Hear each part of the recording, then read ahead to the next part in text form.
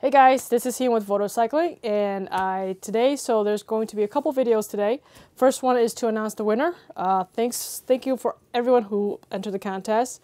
Um, the stories were great. It turned out I got to read a lot of awesome and interesting stories. Um, what's nice is that since you guys know what you were playing for, um, there weren't that many people that that applied to the contest, which is pretty awesome. Uh, so the, it made the, reading the stories that much more fun because the stories were so good, there were stories about helping out kids.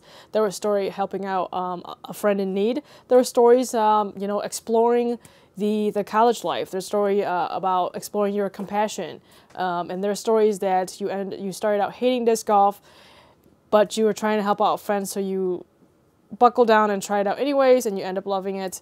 So these are the you know every one of your stories were unique, um, and and I, I couldn't decide which one was the best story and it was it's kind of not fair to decide which one is the best story because each one of you have a unique story a unique life. So therefore all your names are in this little hat right here and uh, there are little pieces of paper that I've uh, that I've folded up into little pieces. So what I'm going to do is I'm going to randomly pull a name out of this hat and uh, you'll be the winner. And then I will contact you by the end of um, right after this video actually. Uh, I'll contact you and then um, you have to contact me within 48 hours with your information so that I can ship it to you. All right, so let's pick out a name. Let's pick out a name. So here is the piece of tiny little piece of paper. The winner of the four putters is uh, Cesar.